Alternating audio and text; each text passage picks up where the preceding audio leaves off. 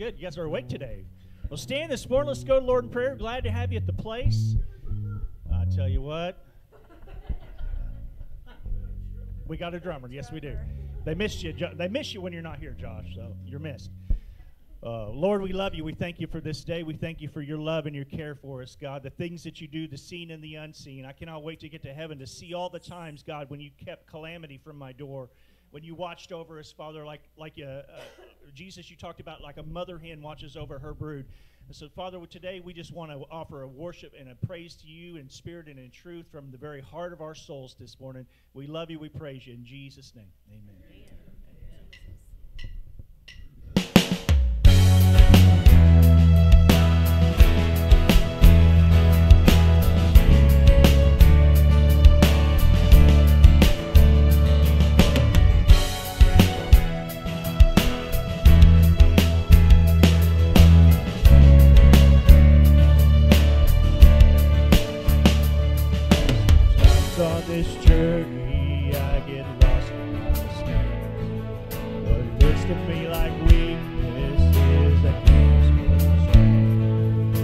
Story isn't over, my story's just begun. Failure won't define me, cause that's what. Failure won't define me, cause that's what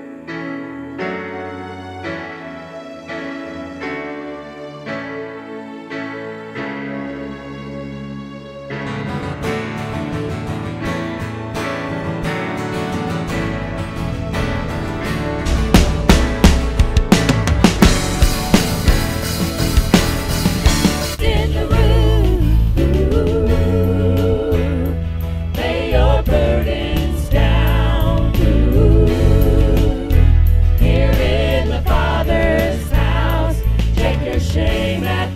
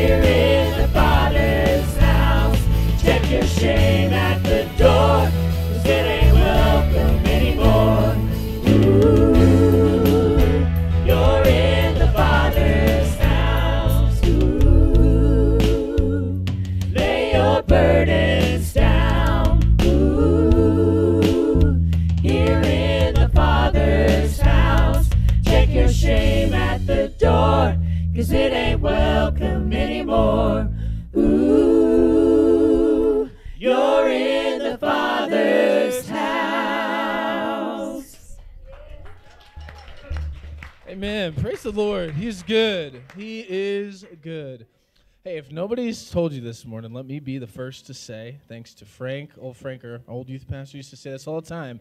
Nobody's told you, let me be the first to say that you are loved, you have value, and you have a purpose in this life.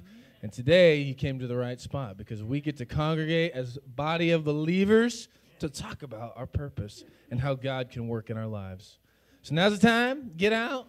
Maybe exchange a phone number today. Hang out with somebody. Shake a hand.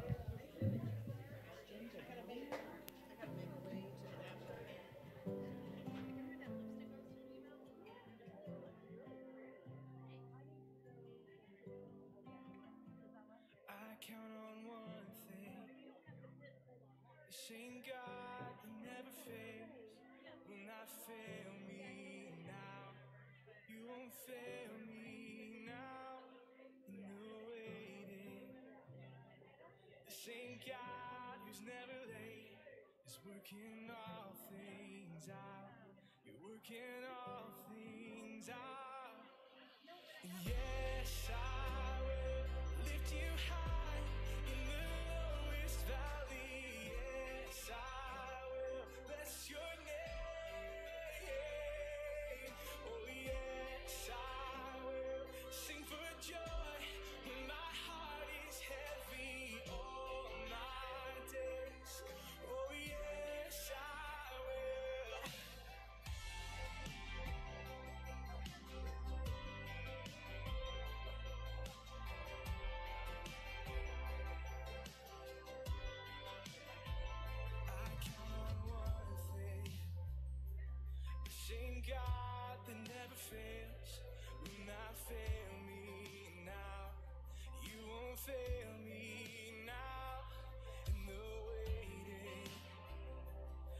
Same God who's never late is working all things out.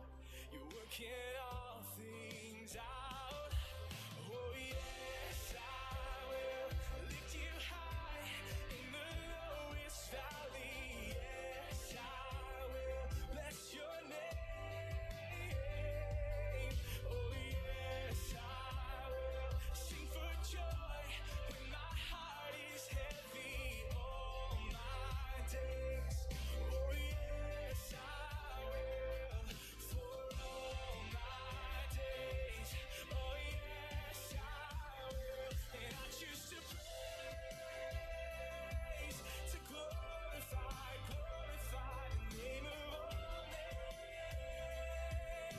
All right. You guys did a great job. Now it's time to sit down.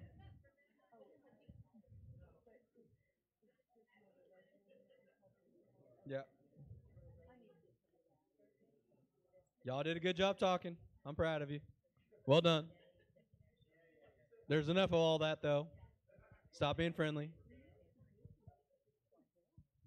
We just do normal levels of friendliness. We don't want to go overboard because then you guys get excited.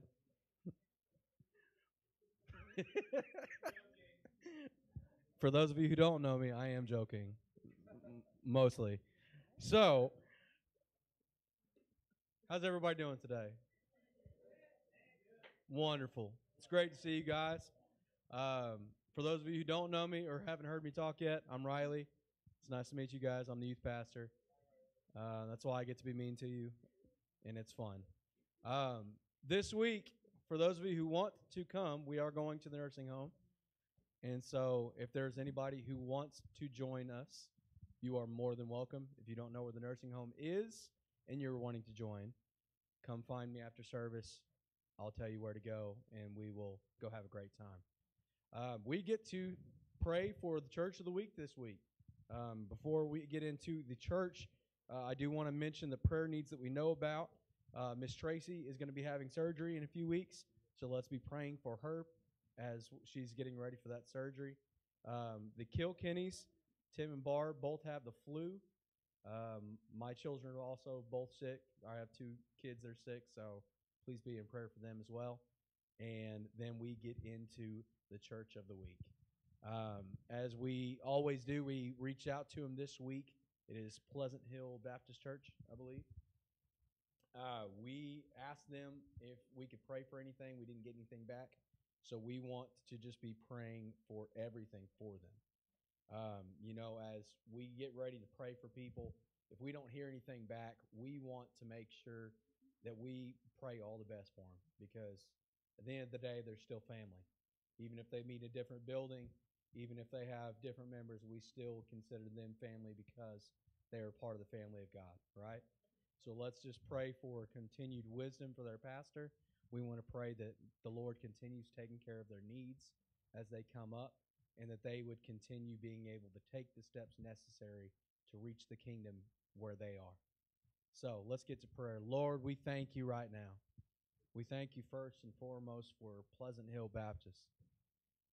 Father, we pray that as you are leading Pastor Mike and Kim, that you would give him wisdom as he teaches, Lord. You would show him what he needs to be able to speak on and when he needs to be able to say the things that you have called him to. Lord, show him and guide him how to be able to lead the staff and be able to lead this church into the direction that you need them to go to make the impact that you want them to have. Father, we thank you, Lord, that you are going to continue providing for every single need that they have that comes up. That you would pour in the tithes, that you'd pour in the offerings, that you'd bring in be a- uh, people that would be able to give them finances for the projects that they need to be able to make the impact that you've called them to. We praise you and we thank you for them, Lord. We also want to thank you for the Kilkennys, Lord. They mean so much to us. We thank you that you are healing them right now in Jesus' name. That you are taking away every bit of sickness that is in their bodies and that you are making them well once again. And we also thank you for Tracy, Lord, that you are going to be watching after her as she gets ready for surgery. We pray that you would watch after her, that you would keep her safe, and that you'd give wisdom to the doctors. We praise you and we thank you for what you're going to do in this body and through this other church that we are praying for. In Jesus' name, amen. Amen. All right. Thank you, Pastor Riley. All right. Well, welcome to the place. We're glad you're here. Good to have uh, Pastor Gary back. God bless you, sir. Yeah. For a minute, he's back for a minute, and they're leaving tomorrow morning again. So, uh, but uh, we will hear him uh, report on Rwanda and hear him preach again when they get done with their travels. And so, uh, anyway, uh, men's ministry is going to be this Tuesday night at 6:30. Who's uh, now? Tim was supposed to speak, wasn't he? I think so. Anyway, it's going to be men's ministry. We'll get it worked out. We have food every time, and so come 6:30, uh, eat with us. Uh, we usually fellowship for about a half hour or so, and then we get into the Word for about an hour, and we're done by eight. And but it's an amazing time. And if you are interested in, in just connecting more with us, that uh, as a fella and as a lady, you know, ladies do ladies meeting on the weeks that we don't do men's meeting, and so uh, um, anyway, that's just a really great thing. So. Anyway. We think of it as we have ladies meeting on the meeting on the The weeks that you the men don't it, meet. so, you okay, know, well, sure, whatever. sure. Um, Whatever you need to tell yourself. So nursing home today. So we're gonna go at twelve thirty ish. We'll leave. right? Yeah, we'll leave from here, and uh, I'll lock up today. Pastor Riley usually locks up for me, but uh, I will lock up for Pastor Riley today, Yeah. and uh, you guys can get over there, and then we'll meet you guys over there. So yeah, Yeah. Um, okay, so we have guest or prayer cards in front of you. I don't see any guests this morning, so if you have a prayer request, please fill that card out and put it in the offering, and we'll be praying for it on Wednesday. Yep. So we Yep. we love to get those, and we love to have things to pray about. amen. And then uh, uh, we'll talk about that in a minute. You want to hit Okay. the, pr- the prayer emphasis thing? Yes. Okay. So um, this month, that um, Brent and some other folks are going to be sharing about prayer and just the importance of it and that sort of thing. And I'm not really sure where they're going with that, so I'm not going to address that anymore. Good. But we um, prayed lane, last month. Um, we had a, a different prayer every month that we prayed, right? Every- or every every day. day. I'm sorry that we prayed. Well, this time, this month uh, through February, we're going to do a week of prayer emphasis. So, um, like this this particular week, we're going to be praying that God will send us divine appointments. And we're going to um, pray that they that God helps us to be ready for those divine appointments, and that we'll be bold to speak the truth. Um, and then there's some scriptures you can look up. So those are up here. So I hope everybody grabs one of those before you leave. Um, and that's just our prayer focus for that week. So that week, just try to think of that all all week and just be praying about it, because that's good stuff, right? Amen. Good stuff. Talking to God. Good Amen. stuff. So here in just a moment, we're going to take up our, our tithes and offering this morning, and thank you for giving. And I just want to kind of highlight something that happened this last week that was, and if you're on GroupMe, you probably saw this. Uh, so Sunday, uh, Sunday last week, I took the guys from First Step home because Rick and Lori had a, it was Rick's birthday, so you were going to a birthday lunch. Yeah. And so we went and ate, and then uh, on our way on 104th Street, we hit a huge chunk of metal, and it sound it was like whop whop whop whop immediately, and I was like, "Is that a flat?" And the guys were like, "Man, that sounds like a flat." So we pulled off into this like the this prairie, basically. It was just kind of like this inlet into somebody's field, and uh, and and uh, we went. Me and Spencer got out and looked around, got to the back uh, passenger or back driver's side tire, and I mean, hunk huge chunk of metal. I pulled it out. It was it was and it just pancaked immediately. And so, uh, so we were, we, we got out, you know, all 12 of us, we get out and we're, we, we find the jack and then there's no handle. There's, there's no, there's no crowbar. There's no lug wrench or anything like that, you know. And so we're like looking we're going, because we've, you know, obviously we've never done this before in this vehicle, or I haven't anyway. So Spencer, thank God, found the lug wrench and everything. It was up underneath the uh, passenger side front seat. So you pull a panel off and you can get to it good information if you're ever going to need it, right? Okay, so you might like sock that away. Uh, but anyway, we had um, uh, we were driving that van because it had the best tires, and so uh, that tire got ruined. And so we had to get a, a, new tire on that this week, and I got the oil changed. And then we did have a, a, a, family because the other van needed new tires as well. In fact, it was getting like we weren't driving it because it was real sketchy, you know what I'm saying? And so, uh, but anyway, there was a family in the church that gave towards that and, and, and bought a new set of tires for the van that you guys are in Woo-hoo. today. So thank you for that.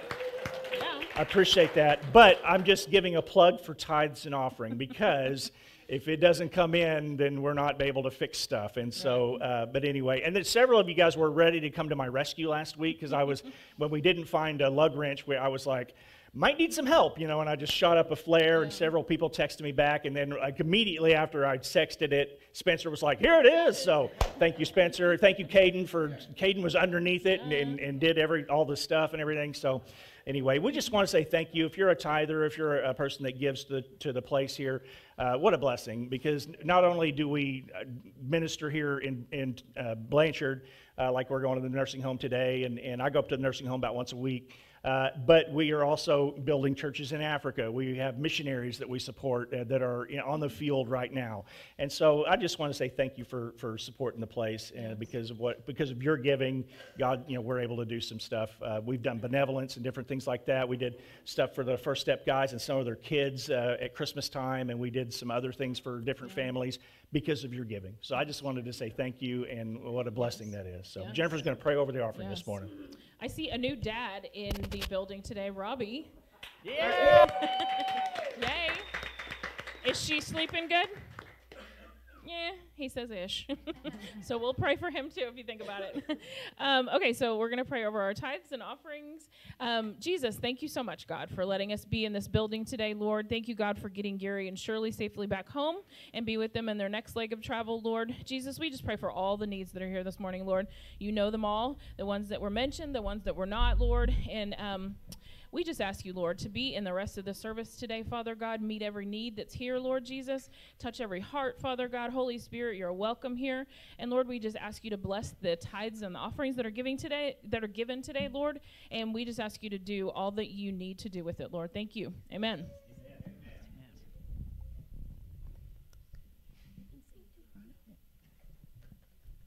if you will, let's just stand and uh, we're going to go to the Lord in prayer and worship. If you have any needs, the prayer partners are coming and they'll be happy to pray with you. We've seen several prayers answered around this altar, you guys. So, so don't think that your need is too small or too great for God to, God to do something because He will. I promise. All right, thank you, Jesus. Dylan, it's good to see you in church, buddy.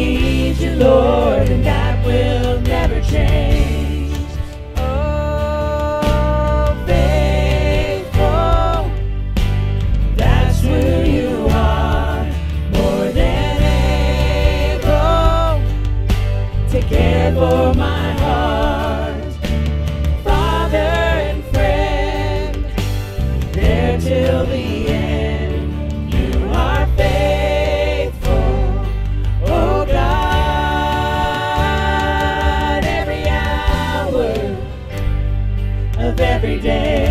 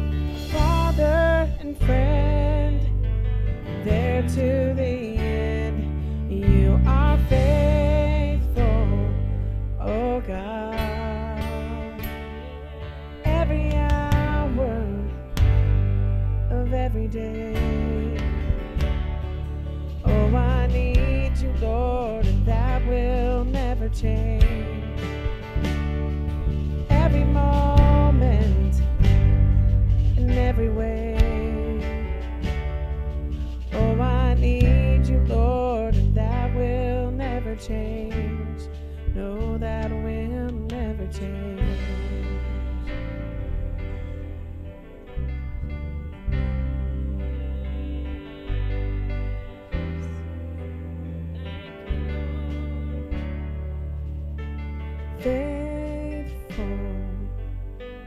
That's who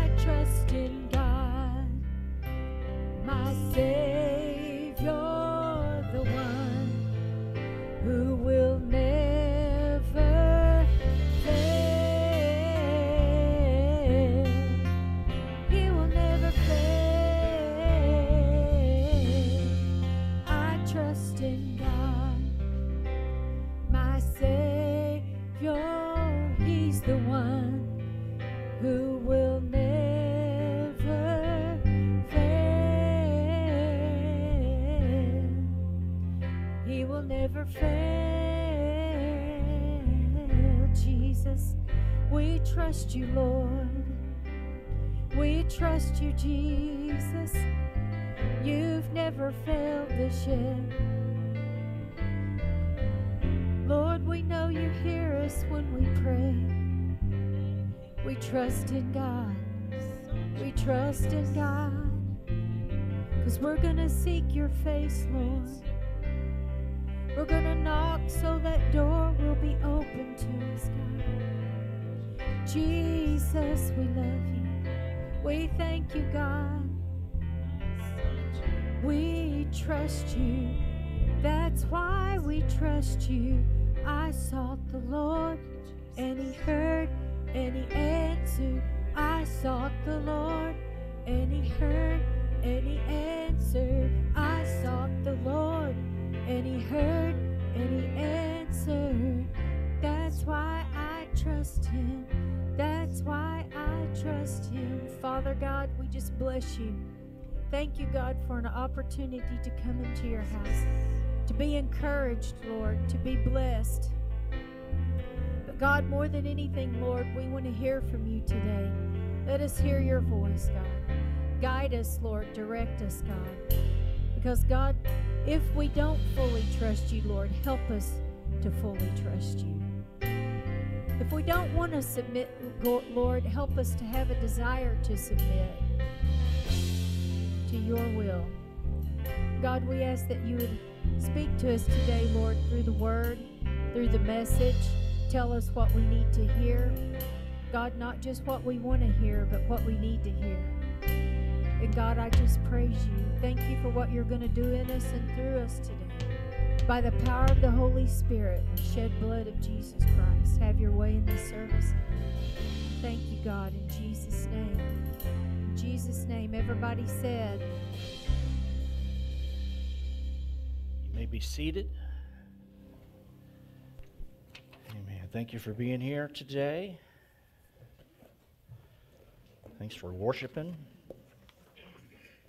Thanks for giving all the things that you guys are doing. Your time, talent, and treasure. So, amen.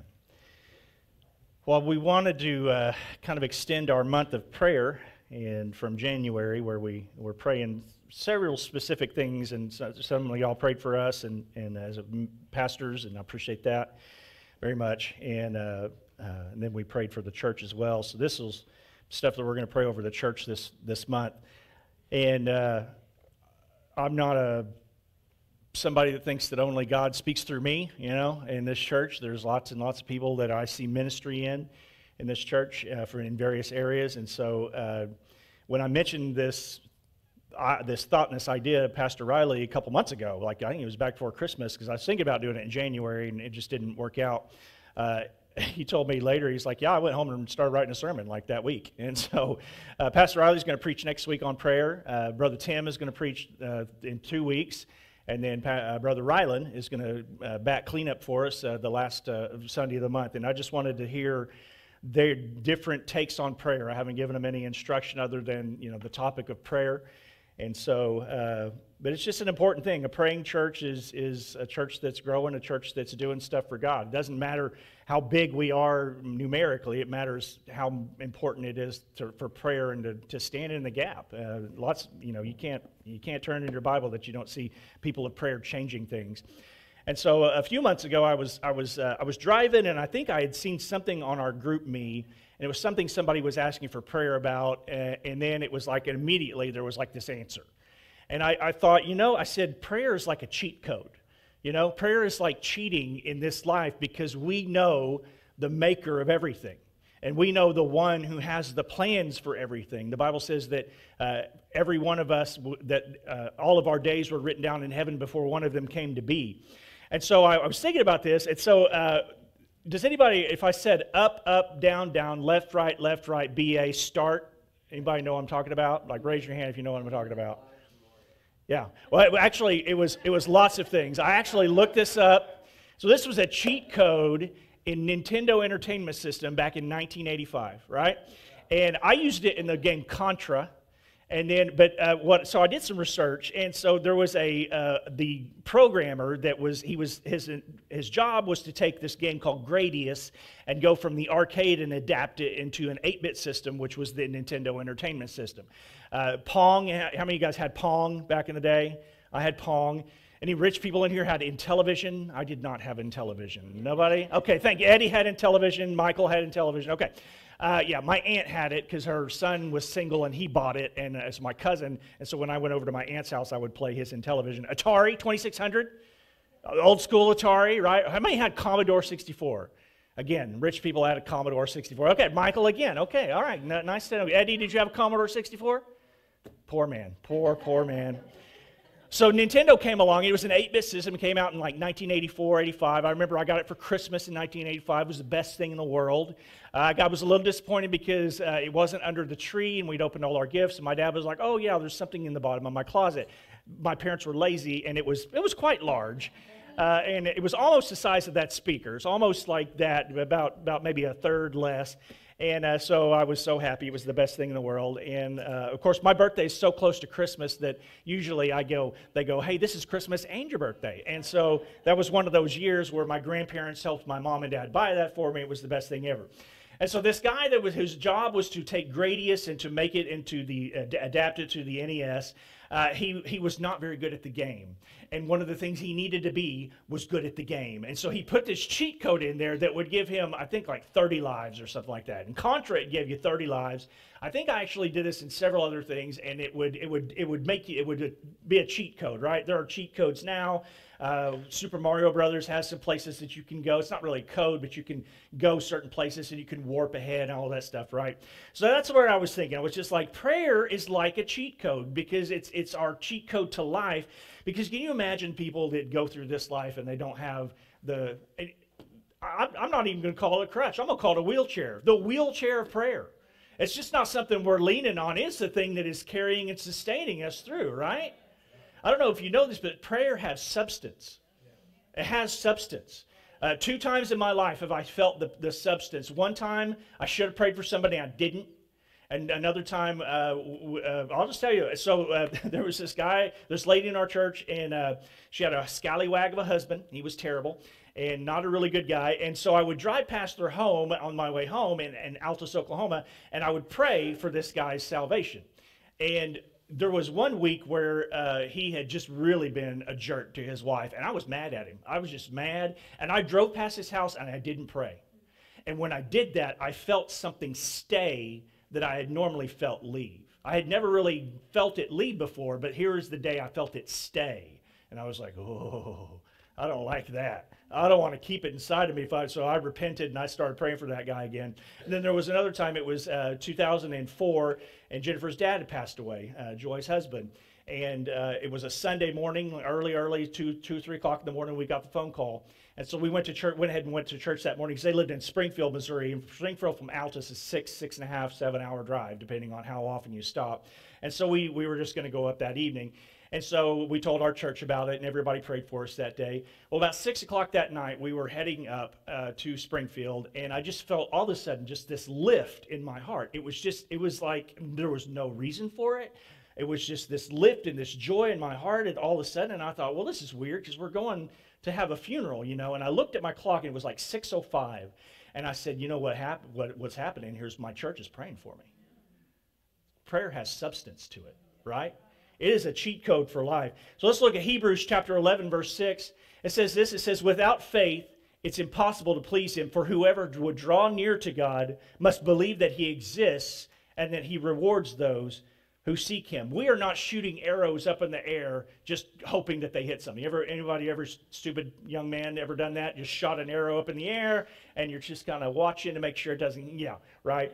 Uh, I only I only did it with my little brother, so there's only two of us out there ever, and we never even came close to hitting uh, each other, which is great.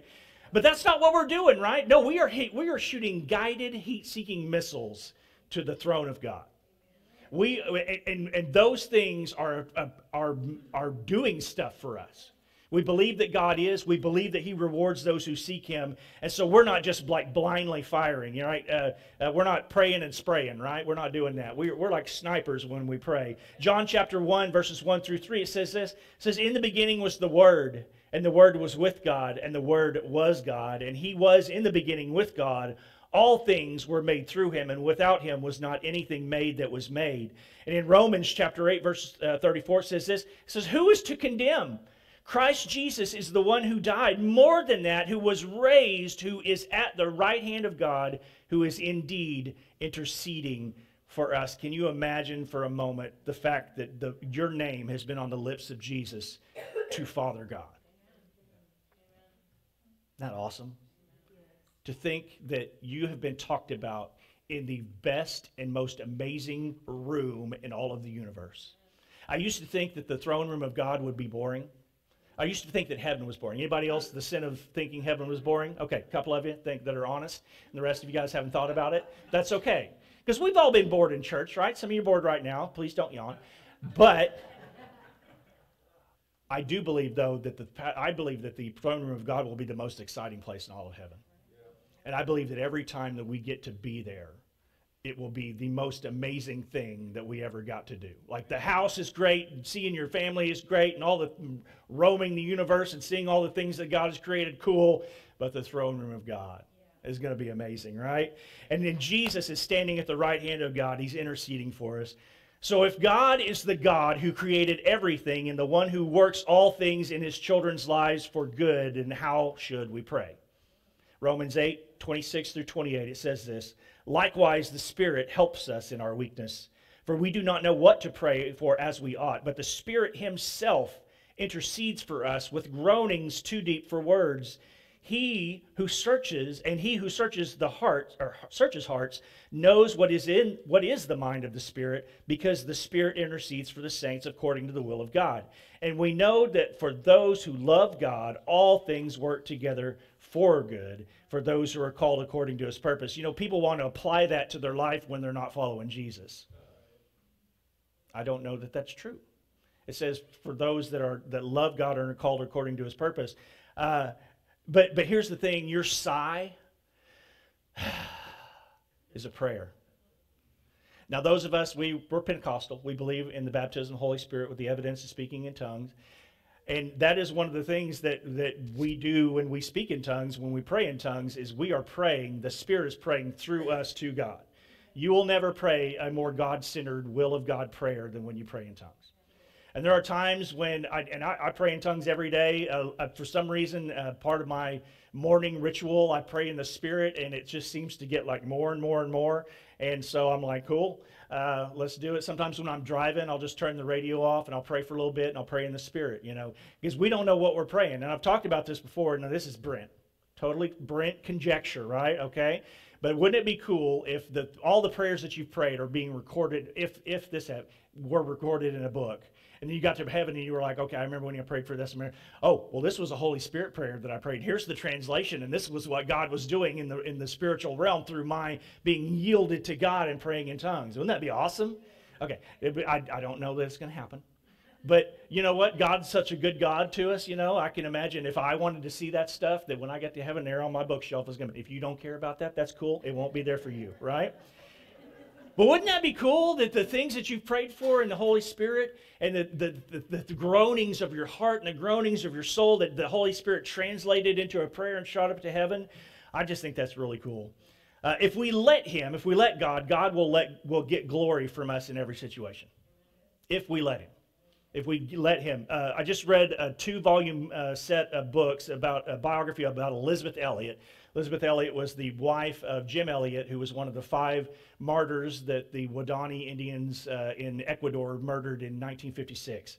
And uh, so I've just read this this two volume set. So it was amazing. My mother-in-law read, read it. Uh, she was chomping at the bit because I was like reading it, and she was like, "Well, I'd like to read it." And so uh, I finished one and brought it to her, and finished the other and brought it to her, and loved it. It was amazing. So if you if you're a fan of Elisabeth Elliot, um, but she had, uh, so she went down to Ecuador, and when she was a single lady, she was she was dating Jim, uh, but they weren't married or anything like that. And so she felt called to Ecuador, so she went. She ended up working with these Indian, an Indian tribe called the Colorado Indians. They did not have a, a written language, and they didn't obviously didn't have the, the scriptures in their language. And so she found what's called an informant. I didn't know what this word meant, but in, in translation, an informant is somebody that you can speak to who is a native speaker that also speaks a language that you can understand, right? And so you work with that informant to be able to start translating words and translating ideas and things that's the basis for translating the scripture. So years, you know, it can take years and years. So she was there, I think, uh, several several months, if not a year, and the informant got murdered. And she went and she saw his body. He'd been shot in the head. And she saw the brains, and she thought, the only brains in all of the world that had this language and Spanish together are now useless. And she questioned God. And so she ended up moving on to her next assignment, and she took all of her language things that she had learned, all her notes, all of her typewritten things, all you know, everything, put it in a hard suitcase and, and, and bound it up and gave it to a missionary, and that suitcase got stolen. And she started asking God, what was the point? Why was I here? The informant is dead the work that I did was stolen and it's just probably, you know, nothing ever came of it. And she ended up, she, she, she realized, she said, you know what? Uh, it, okay, let me, I'm, here we go. I'm sorry. At the end of her life, she came to the place where she felt that her job was not to do anything but to obey what she thought was the will of God. And this was her statement. And she said this several times. And this is how cool God is. I literally could not find it in the book. I know I had highlighted it. I went through all my highlights in both volumes. I never could find it. And then as I was just like sitting uh, last night, I was up here changing strings on a guitar, and God reminded me of the exact phrase. So I had to email it to myself this morning and or last night. You know, so I, this is what she said, and she said this many times. She would say, "Thy will be done, though it be my undoing." Thy will be done, though it be my undoing. And this was a lady who was well acquainted with heartache, well acquainted with loss. And, and it would be nice to be able to put a, a big bow and, oh, this, the thing was found. And they, you know, no. The, whoever, the, the, the Bible was eventually translated into their language, but it was somebody else that did it and they did it from scratch. So sometimes we do things and we're wondering why why did we do that, God? But obedience is the thing. It's it's it's not success on our part. It's not success. Well, well, I mean, we want success. Yeah, right? We want to see uh, our labors. We want to see the students that we uh, minister to grow up and live for Jesus. But you know how many that don't? There's a lot. There's a lot. We want to see people that sit in our pews and, and, and give their lives to God, but sometimes we see them come up and, and, and the devil just start hammering them and they just give up and they go away. Tim was talking about a, a, a man that he's been uh, having a discipleship with that when he really, several years ago, when he started serving Jesus, he was just like, My life is worse now than it was before I served Jesus, and he quit. You know, that man has since come back, and that's great, but, you know, we just see that stuff all the time, and, and we just have to realize that it's obedience. Yeah, I've, I've got students uh, that were in my youth group this morning that are in prison right now. You know, you know, I, I learned something uh, very, very, uh, well, I should say midway through my youth pastor. And I, number one, I, I don't take credit for when horrible things and, and people make bad decisions. And I also don't take God's credit when some really awesome things happen in students' lives. I don't take the blame and I don't take the credit because neither of those are mine. I am just here to do the job the best that I possibly can. Do we fail? Absolutely. Do we need God's forgiveness and then God get us back on track? Absolutely. Can we, when we come up to that next thing, that next time, maybe we can do it better? Absolutely. But we're gonna we're gonna fail. So we we're in charge of obedience. We're not in charge of outcomes. Uh, my first place of ministry was a hell that lasted for six months, and to be honest with you, I'm hard pressed to find anything redeemable about it. Uh, but you know what? We responded to what we thought was the will of God at the time. That's what we did. And that's what you can do. You respond to what you think is the will of God for that moment at that time, right? But I often wonder if God allows adversity and tough times for his people to keep us close to him. In 2 Corinthians chapter 12, verses 7 through 10, I thank you, Eddie and Robbie and Robert and all the guys that uh, keep the uh, stuff, the IT and the, and the technology going. This is such great stuff. That's why people don't bring Bibles to church anymore. They're like, it's going to be on the screen, man. And that's great. I appreciate it.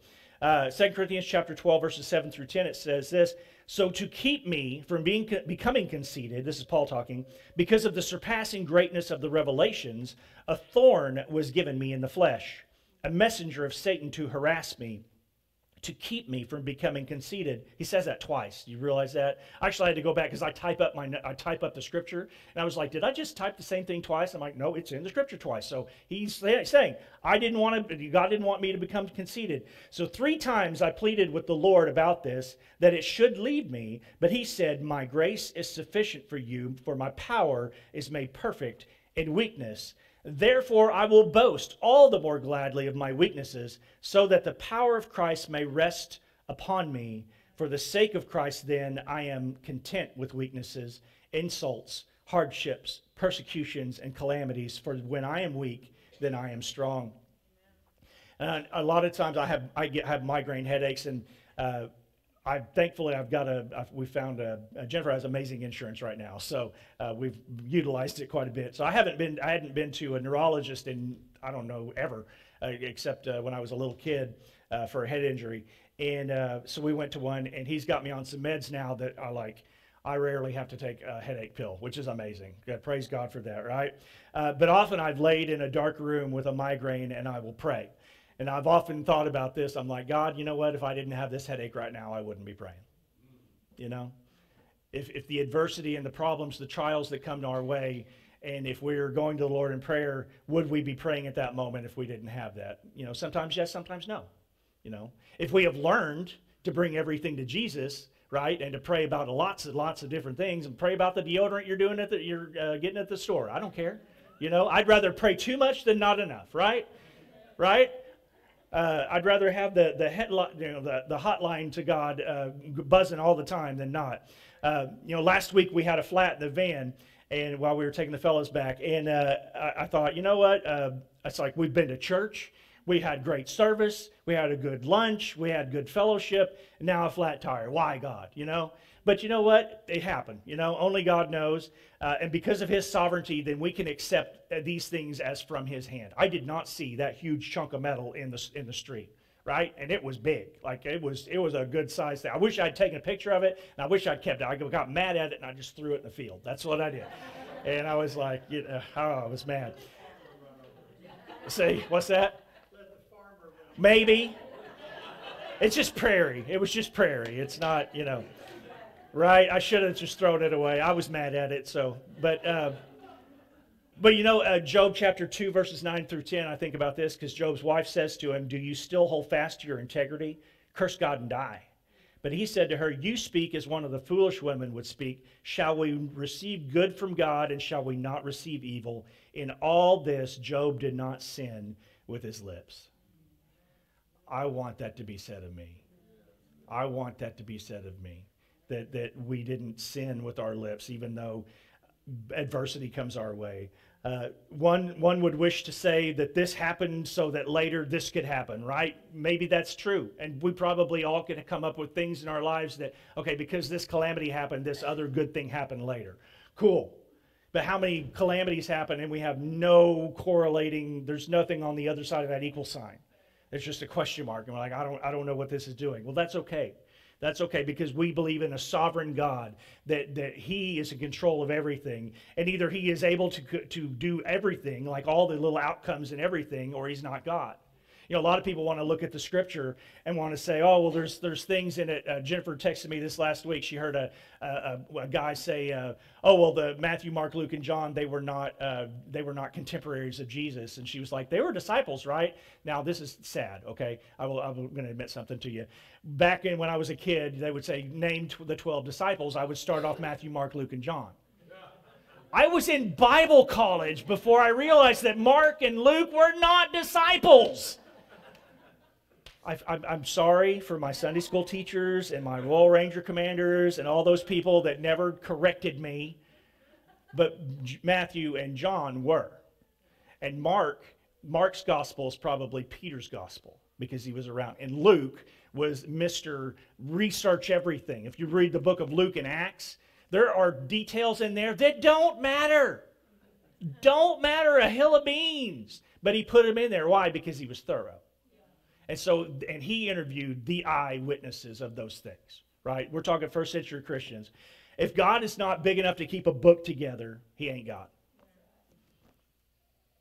When the Dead Sea Scrolls were found in the 40s, you know, there was a complete uh, copy of the book of Isaiah. If you wanted to look at what book in the Old Testament people like to, uh, especially Jewish people that don't believe in Jesus, they like to cross those things out and say, oh, this was added. He was crushed for our iniquities. He was bruised, you know, by his stripes we are healed. Look upon the one who was pierced. The virgin shall conceive. That's all in Isaiah. And they say, well, here's what happened. They find a 2,000 year old copy of the book of Isaiah, and it is word for word what we have today.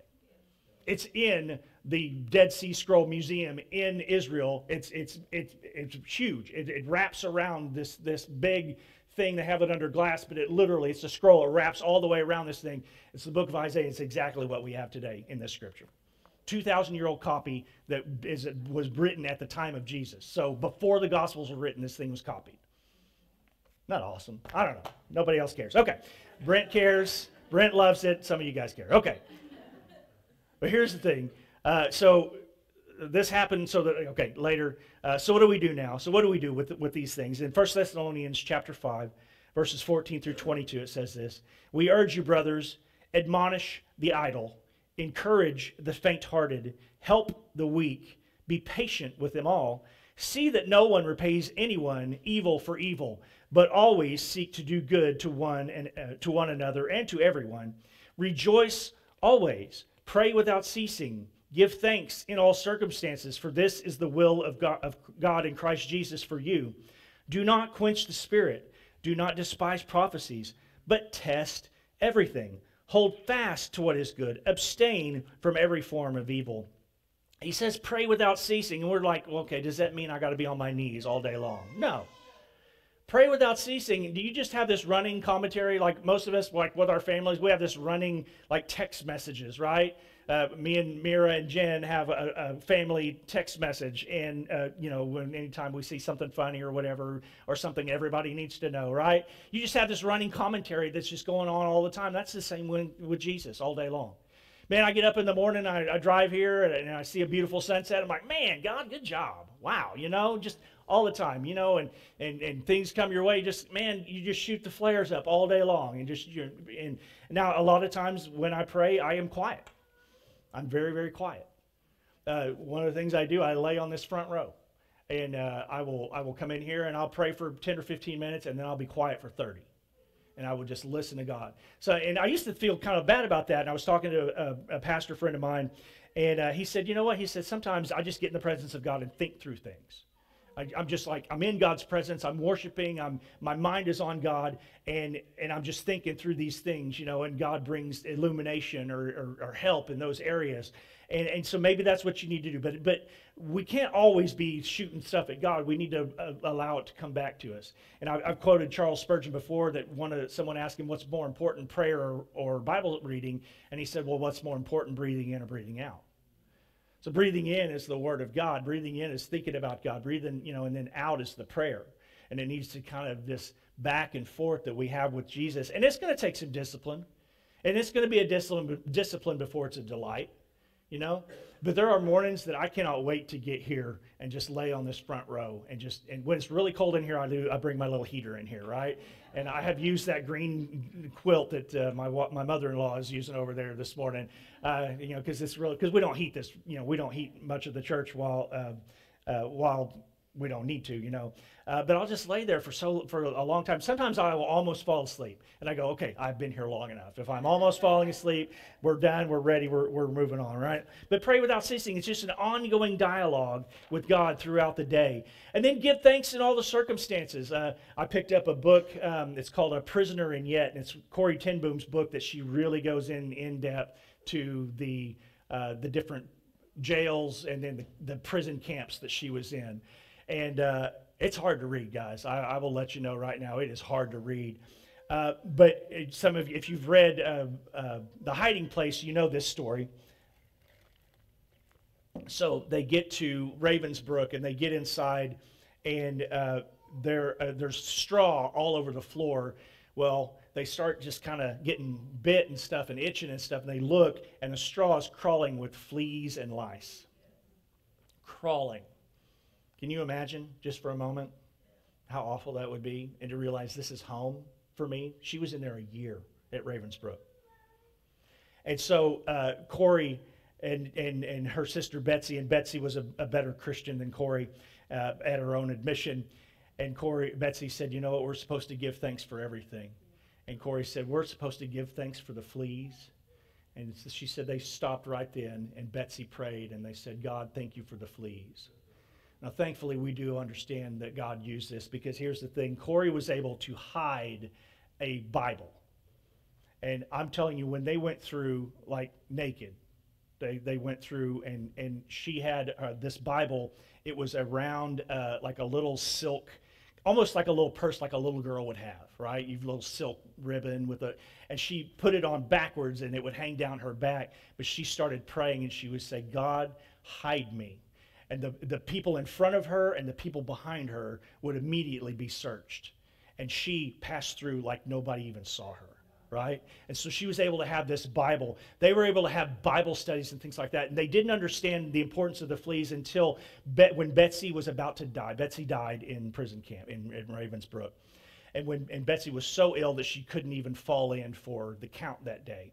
And so uh, the, uh, they come in to get her on a stretcher, and one of the uh, female guards that had never been in, they didn't come into this thing. She came in to make sure that Betsy's transfer went okay, and to, and to you know, and she that was actually a very nice thing for her to do.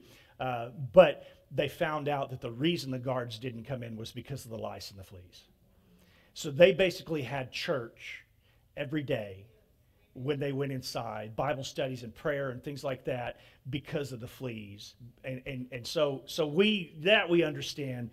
but that is an extreme situation. I don't know if I've, I've ever been like, hey, a tick, woo!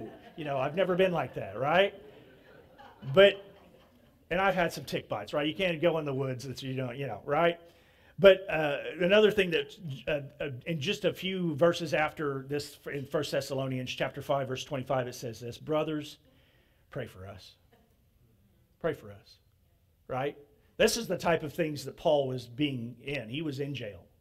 The time when he wrote, when he was out doing and out and not in prison and not, you know, being persecuted, like he was preaching. The times that he was in prison, he wrote. That's why we have these wonderful books that Paul wrote. You know? It's amazing. God had to slow him down to write, you know, to get him to write. Prayer puts us in a place to hear from God as well. Prayer puts us in a place where we ask God for God's will to be done, even if our lives are affected differently than we want. Like I said, what Elisabeth Elliot would say, she would say, uh, you know, thy will be done, though it be my undoing.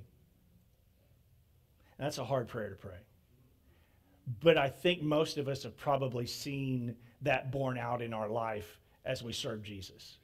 That things have gone differently than we had thought they would or even wanted them to be. And we talked about that in Sunday school this morning about, about our, we have our will and then we have God's will.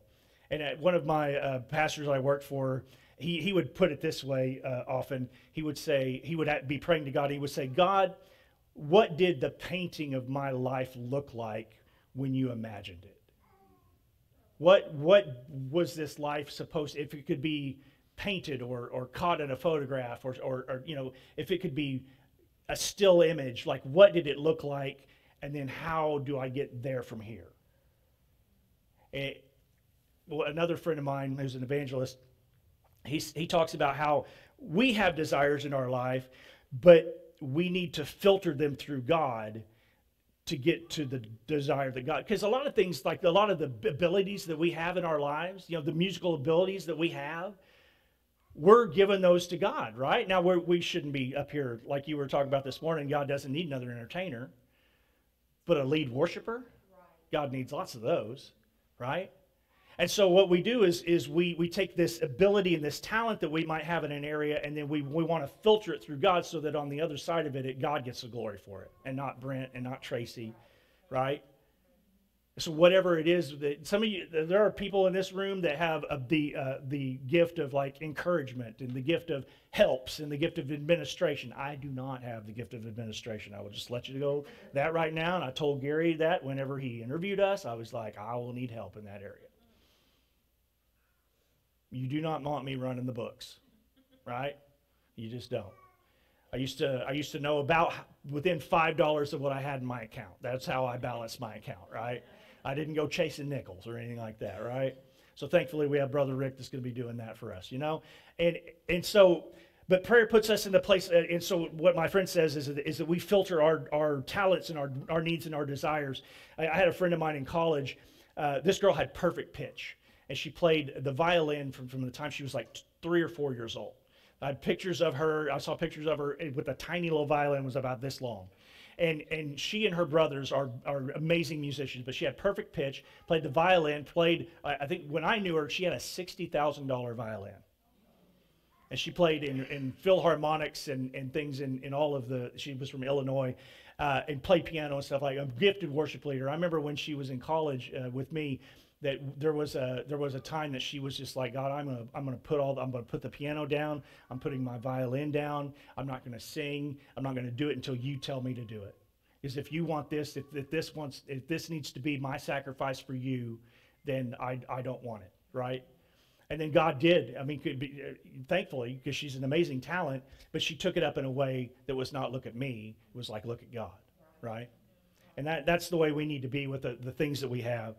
But uh, I heard uh, talk about a few things, missionary stories this morning. But um, there was a missionary named John Paton, and I heard this story, and I've heard different versions of this, and I looked it up, and so this is what uh, he actually wrote about. But John Paton was a missionary to the to the New Hebrides Islands, and one night uh, the the wild natives, it says, I'm just going to read it like it was, so it's it's a little insensitive uh, for uh, for our time, you know. But he says the wild natives uh, surrounded his house, frantically dancing and jumping up and down in the jungle, desiring to kill John and his wife.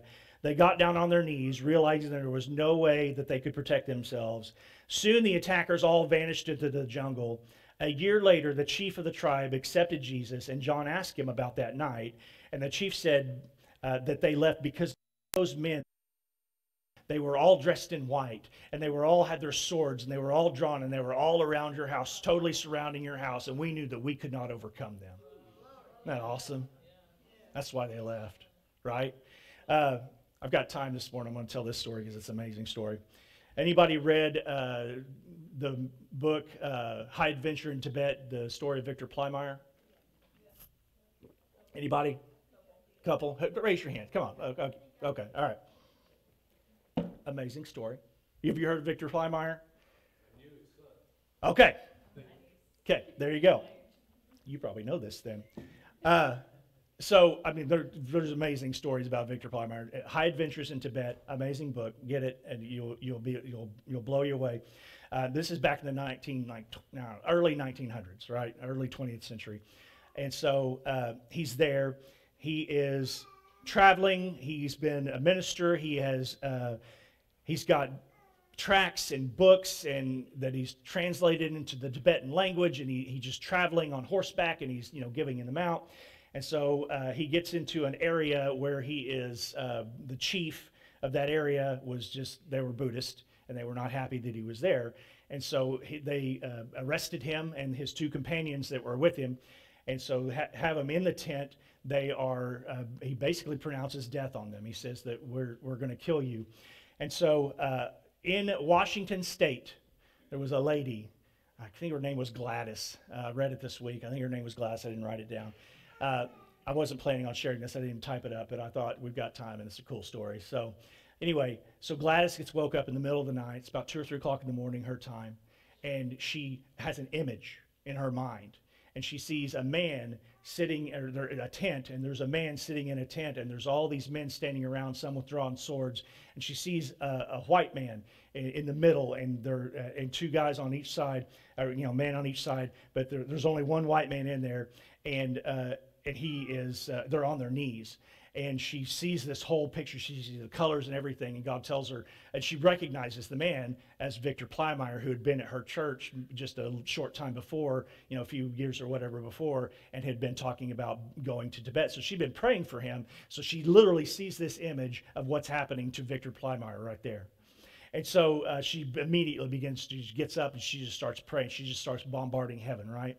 And she prays for a while until she feels the, the victory, right? You ever done that? You ever prayed through? You know, we call it, you know, in the old timies, we call it praying through, right? You pray until you feel like you have the answer, whatever that is, where, that God releases you from praying. You have that burden on your heart. You pray until it's gone.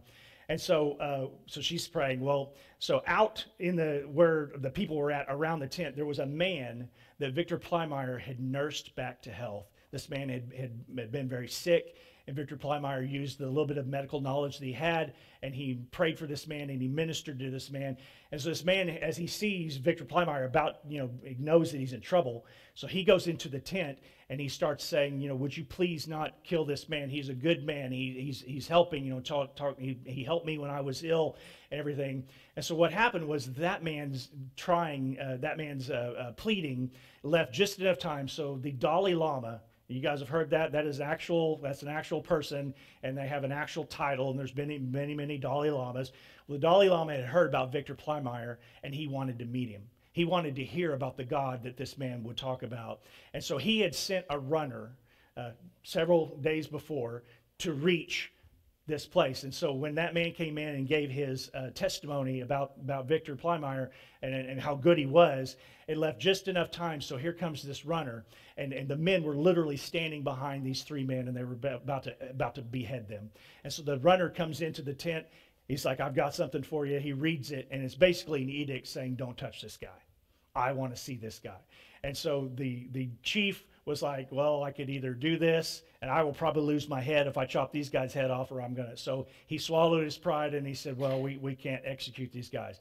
And so later on, this Gladys in Washington State, she drew a picture know, very crude little drawing, but where people were standing, all this stuff. She and she sent a letter to Victor, and so Victor gets it and he opens it up and he said he said this. He said a photographer could not have done any better if he had been in that room with us, of where people were standing, all this stuff. That was God waking her up. Are you willing to be that? Are you and I willing to be the person that God can wake up at three o'clock in the morning and you don't go, well, why am I awake? You God, you say, God, why am I awake? Right? At that moment, God, show me what I need to be praying for. Maybe you just start praying in the Holy Spirit, and, and, and we are doing battle in the in the heavenlies through the things that God is praying through us. If you're not baptized in the Holy Spirit, that is something that you need to pray about. That is something that one of the cool things that Pastor Gary shared with us was about Max Lucado back several months ago, uh, like maybe a year ago. But he uh, uh, had uh, Max Lucado was praying one day and he said, God, is there something else, some other experience that you would like me to have that I don't have? And he said he got baptized in the Holy Spirit. He started praying in tongues. And now he does this like every day. You look this video up. It's an amazing video about Max Lucado. He's a Church of Christ guy. Right? Right? Isn't that awesome? You know what, though? It, and we believe it because it is one of our tenets, but I believe it because I have experienced it. And my first word in the Holy Spirit was D.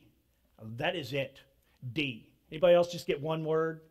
One syllable? That's all I got. I imagine it's spelled D I. I don't know. It's okay. It's, it's Brent's imagination, right? But as I used my language, it grew.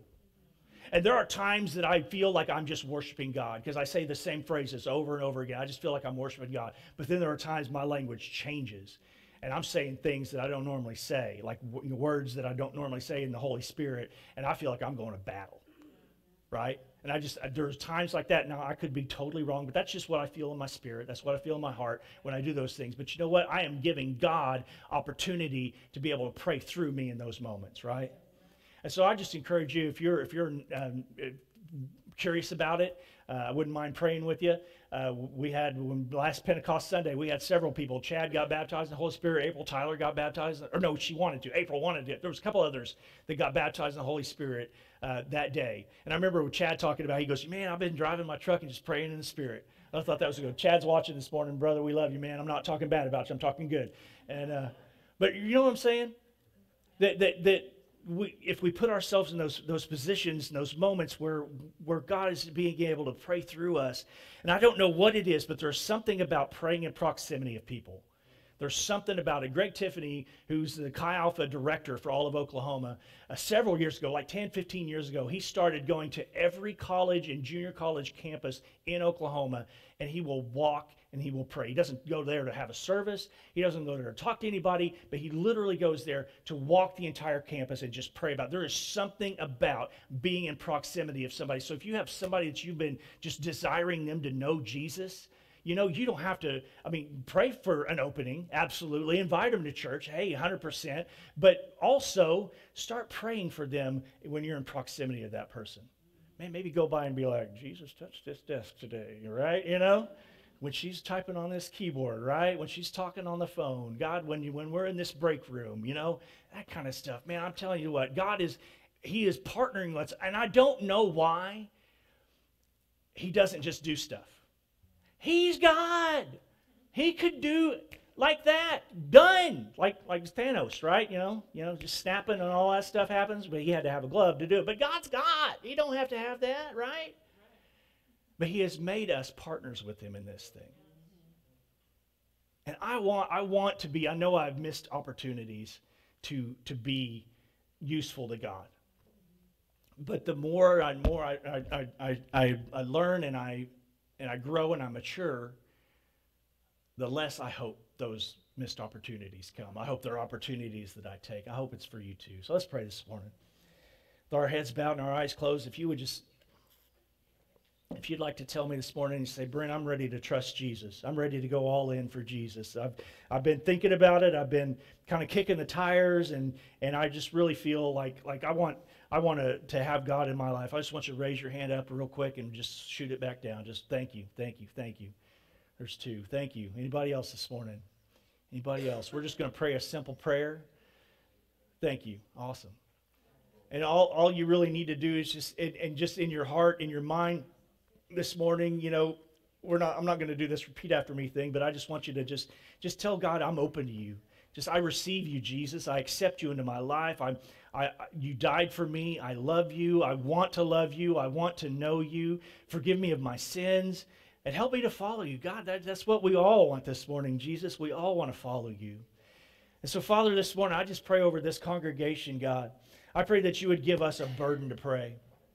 I pray, Father, that, that we wouldn't that this isn't the only time in the week that we would come to, to the throne of grace and pray. I pray, God, that, that you would begin to put burdens on each and every one of us, Lord, for the times and the places that we go. God, we're going to go down to the nursing home here in just a little bit, and we're going to be the hands and the feet of Jesus today. And when I was there just a couple weeks ago, Lord, there was a lady that was having such a horrible day, and she was crying, God, and I was able to pray with her, and I felt your peace come into that room. God, we're going to do that for those people today. But I pray, Father, that, that we're not just going to go today, but God, that every day this week, we would see the faces of those folks that we're going to go minister to here in just a little bit. God, that you would put one of them or several of them on our hearts, God, that we would learn their names and we begin to call out to you. God, I know that there are, are lost family members and uh, that, that are represented here, lost kids, lost grandkids that are represented by the people that are here today. And Father, I pray that you would give us a burden, that we would start calling out that person's name more and more, God, that we would get in close proximity with them, God, and we would begin to just pray for them and, and, and begin to uh, be used by you, Father, to be like a, like a lightning rod, God, that, that we would just attract the power and the presence of God, that we would be thermostats when we walk into those rooms, God, the, the spiritual atmosphere will change. Father, I just pray that you would help us that, that we're going to have a prayer service on Wednesday that we have every week. And Father, we will lift up the needs that have been written down today. And God, we have seen miracles happen out of the prayers that have had, that have gone up out of this place on Wednesday nights. And Father, I pray that you would begin to, to get uh, give us a burden for prayer.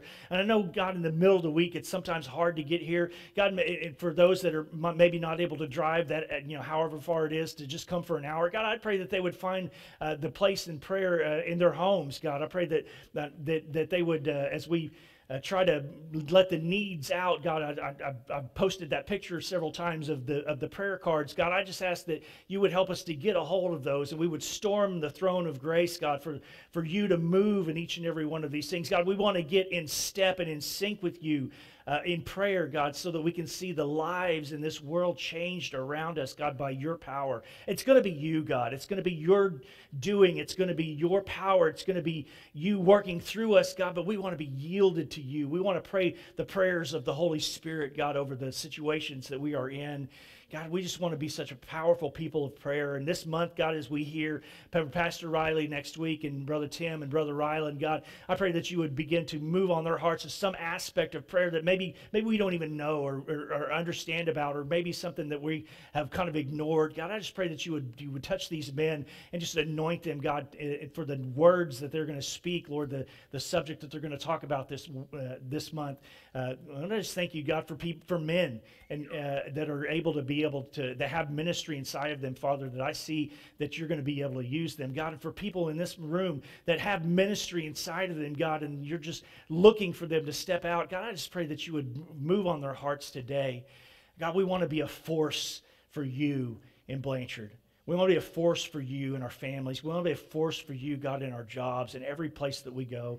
I pray that this week, Father, that, that everywhere that our foot falls, that the, the blessing and the anointing of the Holy Spirit would go with us. We pray in Jesus' name. Amen. Love y'all. Thanks for coming.